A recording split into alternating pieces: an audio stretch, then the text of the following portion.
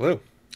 Well, I took off the front panel from the uh, Fisher RS280 to clean it, and here's what's underneath it. Got a vacuum fluorescent display. Looks like it could have been a clock. Hold on. Let turn off the light there. You can see it's got a colon in the display. see two of them. Interesting. And it looks, you see that extra segment on AM? You turn off that little extra seg segment, you get PM. Could have had a clock. Definitely. I wonder if there were any Fisher models that util utilize that extra feature in the display. Certainly not this one. I can't find, at least I don't think so. I don't see a way to set a clock. There are no uh, clock set buttons on the unit. There's some LEDs. You got your uh, tuning and signal indicator and your uh, input indicators on there. And I think your FM stereo indicator as well. Some more push buttons. These go to the uh, microcontroller. And some indicator LEDs. Focus there. Fairly simple stuff. Here's the uh, main control board for the tuner. This is our display driver, our vacuum fluorescent display, hooks up there. Some 4000 series logic to glue it to the microcontroller. The main microcontroller, this is an actually an ASIC.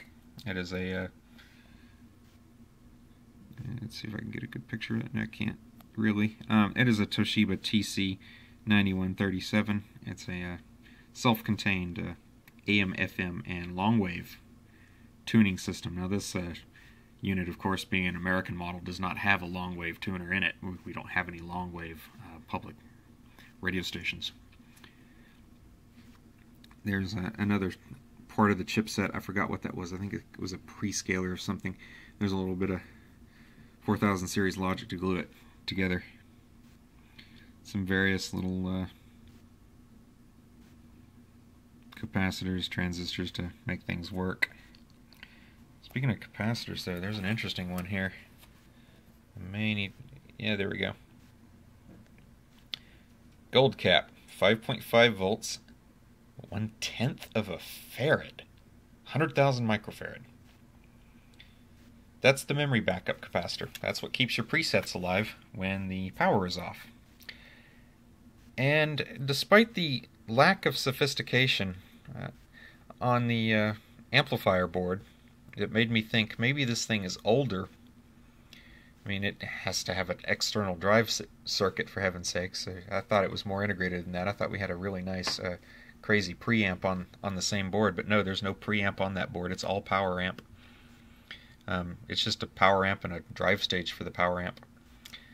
And that made me think, well, maybe this is older than I think. But then again, I see that super cap, and I'm back to my mid 80s theory. Uh, if anybody's got a, uh, a definite answer as to how old this thing is, hit me up. There's the uh, coaxial potentiometer. Your balance here. And your volume here. This is going to get three-step cleaned later on, uh, probably in the next 48 hours. There's the sliders for the EQ. These have already been three-step cleaned. They're already relubricated and uh, deoxidized. Shouldn't be any static at all when you adjust these. They should work just great. In the back there, some ribbon cable that hooks it to this. And this unit is the actual electronics of the EQ. A simple one transistor amplifier per each band on each channel. So it's five bands, so five little one transistor amps with uh, frequency dependent uh, elements in them. Each one has a slightly different selection of uh, passive components to get the uh, right band. The only thing I've done on this is inspect it for cold solder joints and replace four capacitors. And they weren't bad, I just did it out of preventative maintenance. They're coupling caps, and if they go bad, well, you get system-wide audio dropouts that are hard to track down they infuriate the customer and they can take me a little while to find. So I just get rid of them. 80 cents for some insurance, essentially. Uh, I I stake my reputation on repairs. Actually, I'm not a vintage audio dealer. Um, this doesn't actually pay the rent for my little college apartment. Uh, what does is actually repair of not only stereos but computers and just generally anything electronic. I've even taken in some industrial equipment occasionally. Um, but yeah, this is mainly just to clean out my closet and to clean out uh, my inventory of stuff that customers have said. And on second thoughts, I really don't want to fix it. Here, you can have it. Um, but with that said, I am serious about my repairs, even on my budget units like this Fisher. So, while I, while I am not intentionally trying to compete with uh, a certain famous vintage audio dealer on the internet whose name comes from a, a rather popular hardwood tree, um, I do, in in this case, compete with them, and I do quite well, I should say. I, my prices are lower, and at least as far as I can tell, I do more work to my equipment than they do. I certainly uh, do the same amount of verification that they do. Um, let's uh, turn over the board. You can see what else I've done here. This board just got one cap replaced, this little guy right there. Um, the rest of them look okay. That one I wasn't quite sure about. And if that one went, the whole digital section of this receiver would go crazy.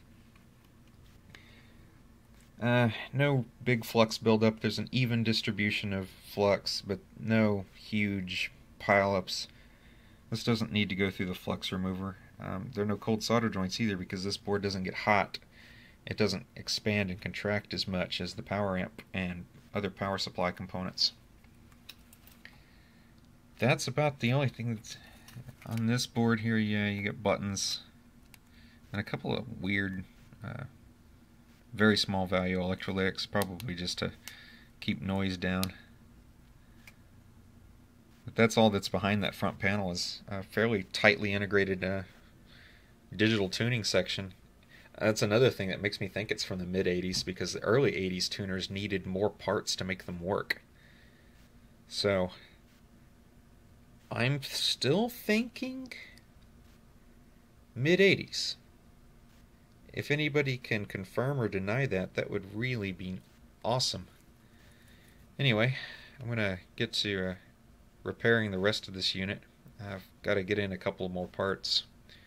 But uh, within the next 72 hours, I should have it buttoned back up.